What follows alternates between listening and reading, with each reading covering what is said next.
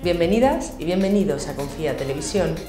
¿Qué precauciones debe tomar el empresario para proteger mi salud? Pilar responde una de vuestras dudas mientras Laura nos trae la última hora sobre la Caixa, la Confederación Sindical Internacional y las TIC, que nos cuentan cómo su patronal les quiere fundir a negro. Además, en el programa de hoy os contamos lo que hace Confía en materia de salud laboral. Empezamos. Mierda, otra vez. Pues ya veremos quién me duerme a mí ahora. Bueno, aprovecho, me voy antes a la oficina. A primera hora solo ya en la oficina igual me da tiempo a hacer algo. Cinco comercios antes del viernes. Cinco comercios. Esta gente se cree que los comercios son como los rebollones o algo. Cinco comercios antes del viernes. ya veremos quién me duerme a mí ahora.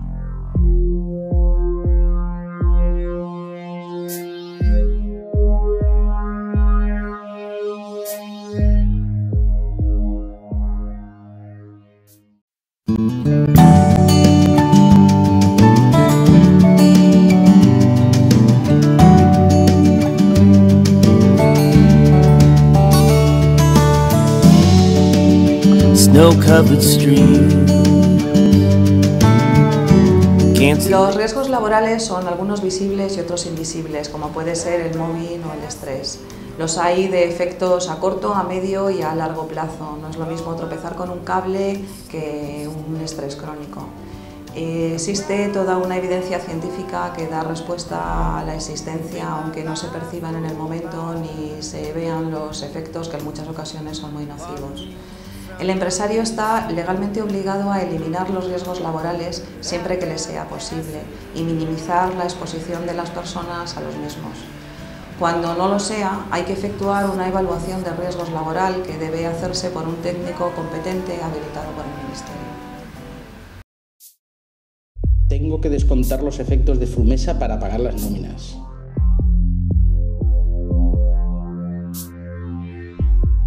La operación de Servihabitat la tienen un mes sin decirme nada. ¿A quién le enchufo un préstamo de 500 euros? ¿Se lo digo a mi hermana?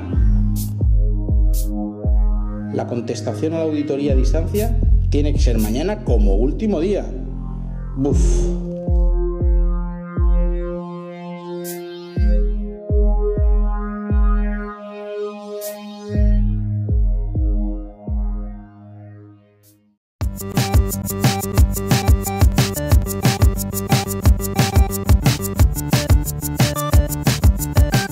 La Audiencia Nacional da la razón a Confía Comisiones Obreras y condena a CaixaBank a enmendar su política preventiva sobre riesgos psicosociales derivados de la actividad bancaria. La sentencia recuerda a los empresarios su obligación de definir unas líneas rojas visibles y objetivas para informar a la plantilla sobre los efectos nocivos de la presión y el estrés real que están soportando. Del 18 al 23 de mayo se ha celebrado el tercer Congreso Mundial de la Confederación Sindical Internacional en Berlín bajo el lema Reforzar el papel de los trabajadores. El Congreso ha contado con la participación de una delegación de comisiones obreras encabezada por Ignacio Fernández Tosho. Además, han participado más de 1.500 sindicalistas provenientes de 161 países, entre los que se encontraba José María Martínez, secretario general de Confía Comisiones Obreras. Los trabajadores y trabajadoras de las TIC siguen en lucha por un convenio que se ajuste a las necesidades del sector. El convenio actual lleva cuatro años y medio vencido y la actitud de la patronal parece la propia de quien quiere dejar morir cualquier derecho adquirido hasta ahora, como la antigüedad. Pero las plantillas no se resignan y por eso continúan las movilizaciones, como la de la semana pasada en el País Vasco.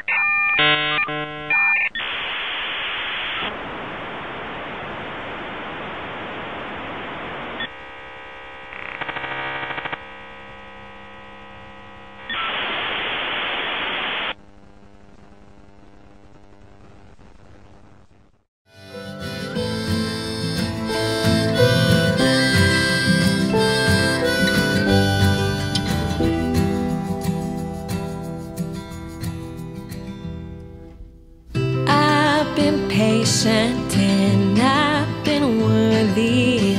I'll let you bring me down.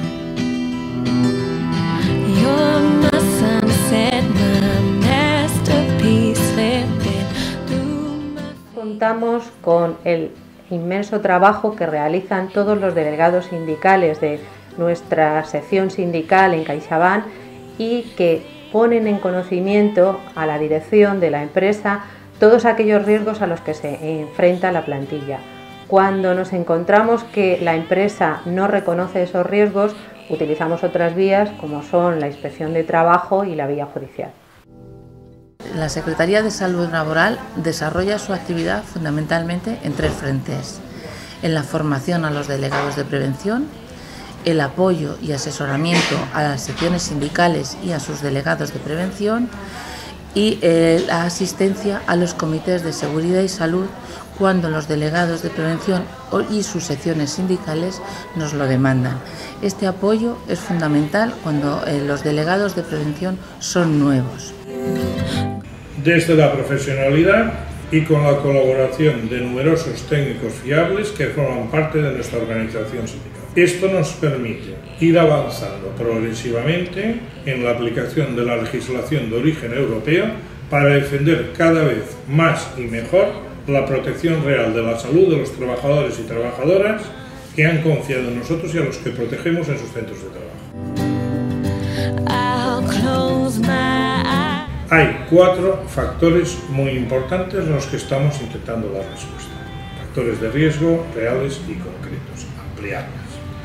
El primero es el uso de los ordenadores, la pérdida de visión, el control productivo por parte del empresario de manera unilateral de los softwares utilizados. En esto estamos trabajando.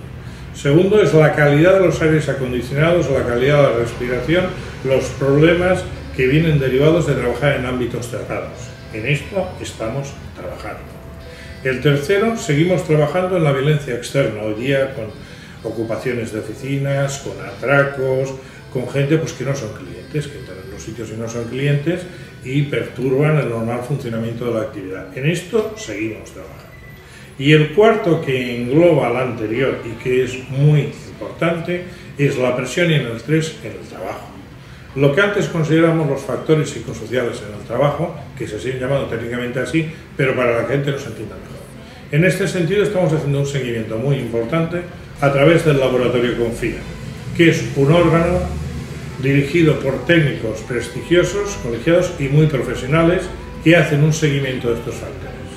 Gracias a los informes de dicho laboratorio se están consiguiendo importantes avances en las inspecciones de trabajo y muy recientemente la victoria en la Audiencia Nacional que ha cambiado el concepto de la evaluación de riesgos psicosociales en todos los sectores productivos del Estado español. Los objetivos del laboratorio Confía son fundamentalmente dos. Por una parte, eh, queremos hacer visibles los riesgos psicosociales, lo que técnicamente llamamos riesgos psicosociales, que no son nada más que la presión y el estrés que soportan los trabajadores en su empresa. Y por otra parte, concienciarles de que existen y eh, de los efectos nocivos que pueden tener sobre su salud. Los riesgos psicosociales son aquellas condiciones del trabajo que están provocando daños a la salud de nuestras plantillas. Situaciones en las que el trabajador ya no aguanta más e incluso llega a plantearse soluciones drásticas, como podemos pensar en el ejemplo que se produjo con France Telecom. Las condiciones o esos factores que nos influyen en el trabajo son la falta de autonomía, la presión de nuestros superiores por estar haciendo cada vez más la venta de los productos, el no saber cuáles son nuestras funciones dentro del centro de trabajo, el tener que prolongar la jornada de manera continua, el estar expuestos a violencia de personas que vienen de fuera de nuestro, incluso de nuestro lugar de trabajo, y todo eso provoca a largo plazo daños a la salud tan grave como incluso puede llegar a ser la muerte. Hacemos sondeos técnicos fiables que hasta la fecha en todas las empresas en las que lo, lo, hemos aplicado nos han demostrado que estos riesgos psicosociales existen, que están presentes y que por lo tanto las empresas ni los están identificando ni los están evaluando correctamente. Y por lo tanto la salud de las personas está siendo afectada.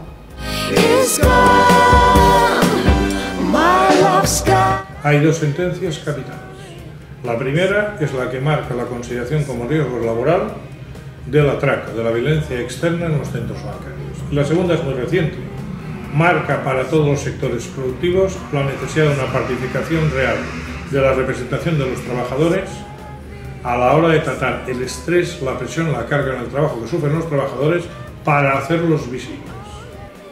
Ha sido la situación tan grave la que está sufriendo la plantilla que no nos ha quedado más remedio que presentar un conflicto colectivo en el cual la Audiencia Nacional nos ha dado la razón diciendo que el método que estaba utilizando CaixaBank para identificar los riesgos no era el adecuado y que debe evaluar correctamente los puestos de trabajo. Hemos conseguido mejoras en las condiciones de trabajo, mejoras en los equipos de protección individual cuando las necesitan los trabajadores, mejoras en las actuaciones de los servicios de prevención y de las mutuas de accidentes de trabajo y aunque queda mucho por hacer y por desarrollar, en riesgos psicosociales eh, hemos conseguido que en los comités de seguridad y salud las empresas no miren para otro lado cuando planteamos de sus evaluaciones, de la necesidad de sus evaluaciones.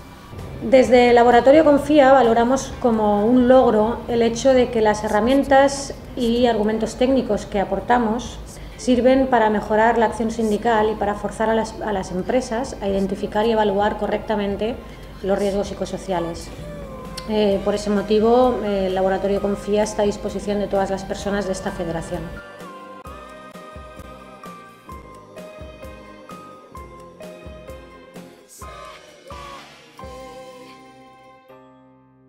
Hasta aquí el programa de esta semana. Nos vemos antes de que cante el gallo.